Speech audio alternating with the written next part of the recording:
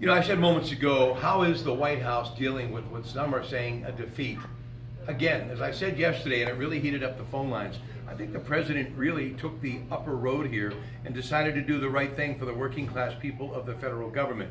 I think he wanted some shock value because he really wanted to get the Democrats to the bargaining table for this barrier or border wall. Well, that's not going to happen anytime soon, and we're going to find out by middle of February if the government is going to be shut down again.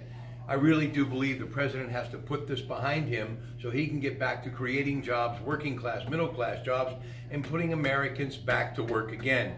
But as far as the blame in this, I really blame our government and what's happening in Washington, D.C.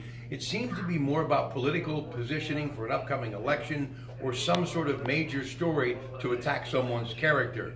When really, as all of this continues to happen, they are all missing an opportunity to do what they were voted into office to do, both Republicans and Democrats. And you know what's amazing to me? The president seems to be the only one trying to move this country forward. He's had own members of his own party say, you know, this government shutdown should have never happened. We know what Speaker of the House Nancy Pelosi has had to say, what Chuck Schumer's had to say. You know, it just amazes me where we are in this country right now when we have so many gifts and opportunities, many more than our parents and grandparents, and we continue to let them slip through our fingers. So today we're on point talking about how to get this country back on point. Rob Pratte Sunday. Don't miss it beginning at 5 a.m. on KDKA Radio.